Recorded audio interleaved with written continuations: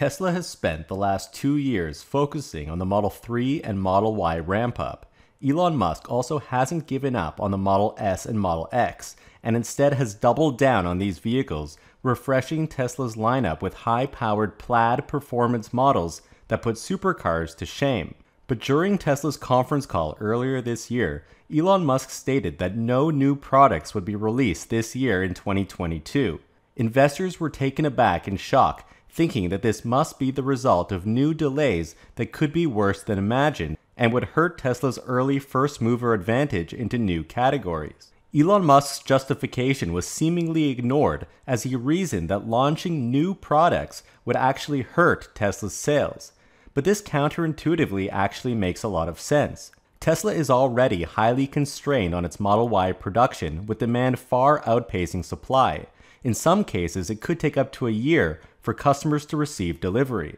But as the chip shortage alleviates, batteries remain the real bottleneck in the system. Without batteries, it makes no sense to sacrifice, for instance, 10 or more Model Ys to try and deliver a single semi truck.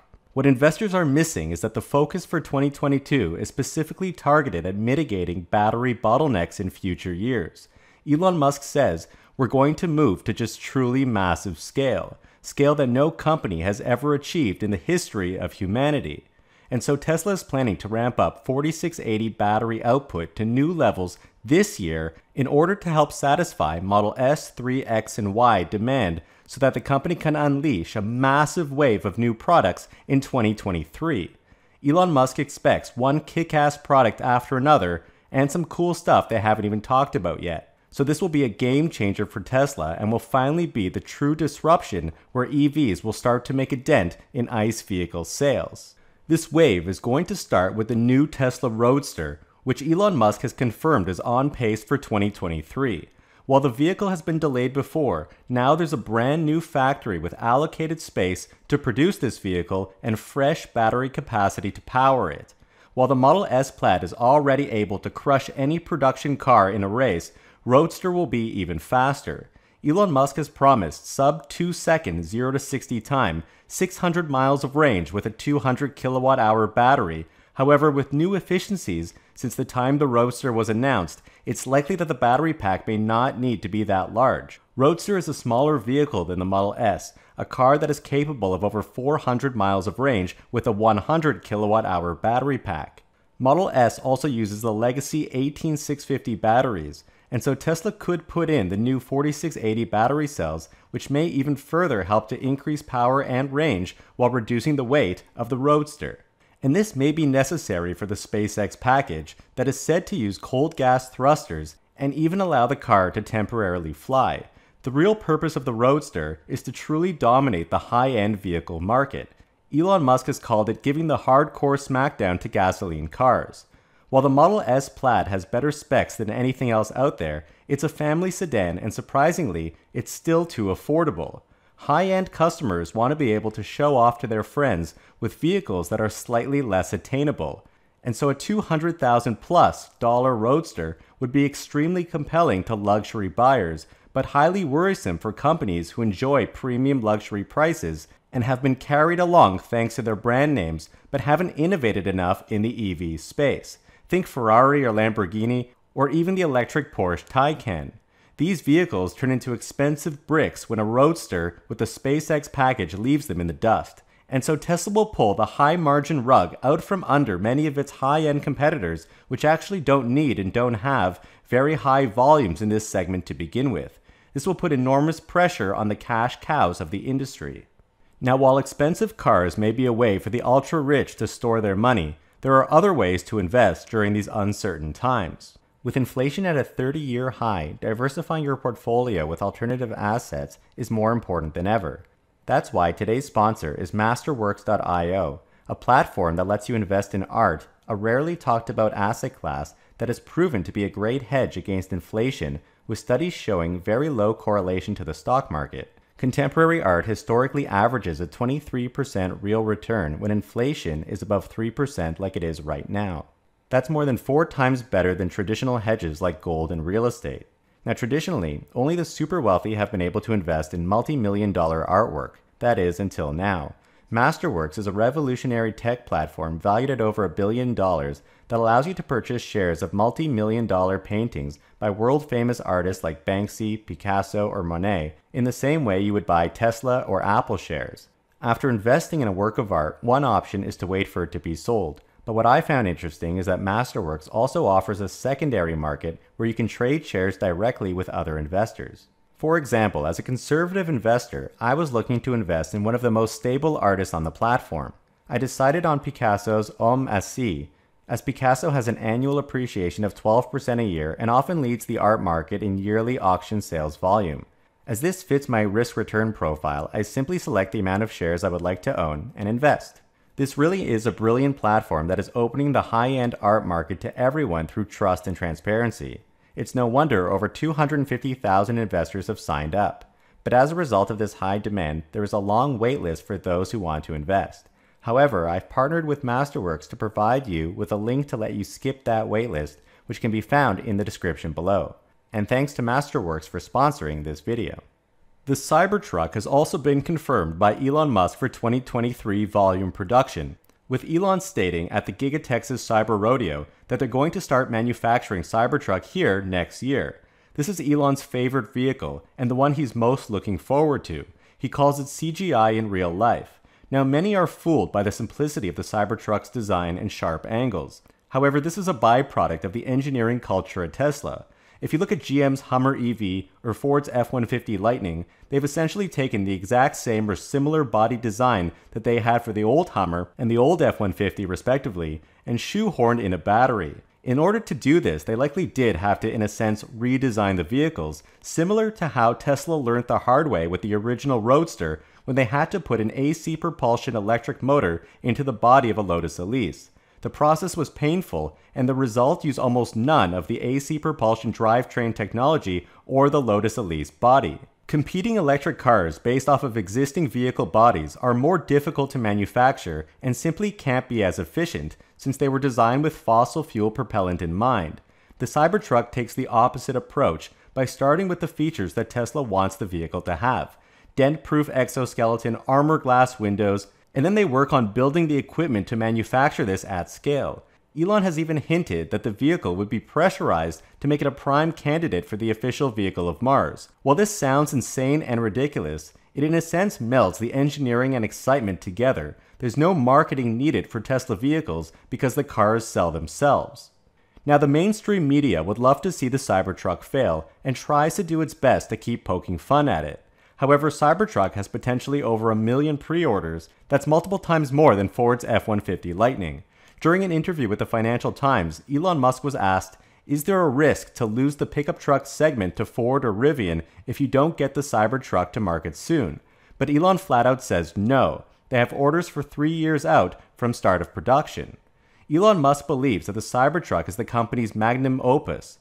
He says, I can't wait to have this baby in production. It's going to be epic. And so the engineering being packed into this vehicle will be next level. While there is a new technology curve, once Tesla overcomes these obstacles, production should eventually be much easier for this type of vehicle that doesn't require a paint shop. This is absolutely frightening for companies such as Ford, General Motors, and Chrysler or Stellantis now, since these are the top three makers of pickup trucks in the US, which is the world's largest pickup truck market. This is also the most lucrative, as pickups have demanded higher and higher premiums over time, and the sector has all but turned into a luxury business. It's also one of the last few segments of the auto industry where the United States' little three automakers lead and have the first, second, and third spot, although Chrysler is no longer owned by a US company. Even Ford CEO Jim Farley has been taking shots at Tesla, making fun of the company while promoting the F 150 Lightning. Tesla has been quite secretive with revealing the latest Cybertruck features, but if history is any guide, they are watching competitors closely in order to trounce them when the vehicle hits production. When asked about the Cybertruck, Tesla's chief designer, Franz von Holzhausen, stated that there is no other truck. Everything else fails in comparison. This is the only one you need. Which seems to echo Elon Musk's excitement for the Cybertruck as the vehicle may end the multi decade lead of Ford and General Motors in the pickup truck market. Moreover, the Tesla Semi is slated to be the third product in this massive 2023 wave of new vehicles. The Semi has been produced in low volume up until now out of the Fremont facility. However, Fremont is lacking the tools, machinery, and the space in order to produce the Tesla Semi. But now that Giga Texas has been launched, the Tesla team is preparing the necessary tooling in their brand new Gigafactory to produce Semi in volume, keeping in mind that a single Tesla Semi may use about 10 times as many batteries as a vehicle such as the Model 3. Now, if you thought that the Cybertruck would have little to no competition, the Semi literally has none.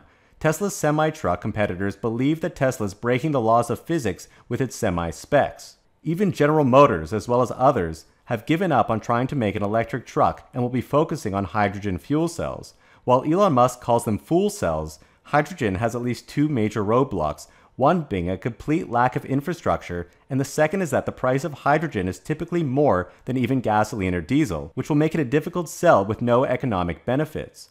Now, to be fair, when Tesla first announced the semi truck, it appeared to rely on future battery technology, which Tesla didn't have in 2018.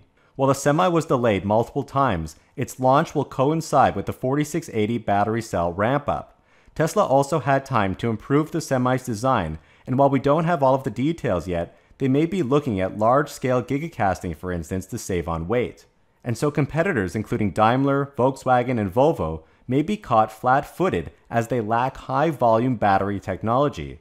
Tesla's Semi will be using Tesla's high performance nickel based chemistry for this vehicle, which isn't something that can just be ordered in bulk from China. The popular iron based chemistry that CATL and other companies have been ramping up simply won't cut it for a vehicle of this size.